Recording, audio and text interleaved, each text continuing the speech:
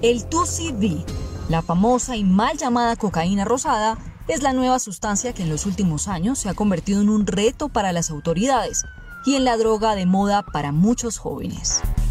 Se siente como si estuviera en una bomba, se siente en bomba, el cuerpo se pone sensible, el sonido se pone sensible.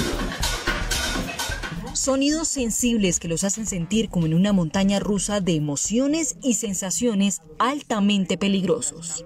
Hemos encontrado son sustancias adulteradas que difieren mucho de lo que encontraríamos químicamente con lo que es la molécula de 2CB, pero eh, encontramos mucha adulteración con medicamentos de tipo veterinario principalmente. Sustancias cuyos componentes pueden incluso hasta acabar con la vida de quienes las consumen.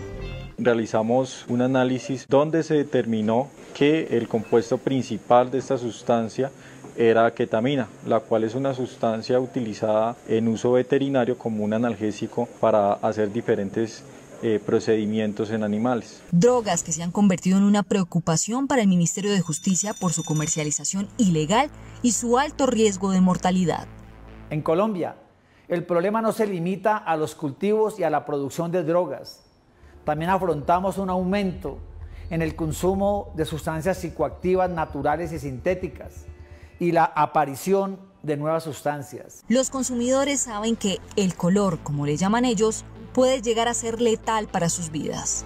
Hasta llegar a perder el conocimiento, ¿no?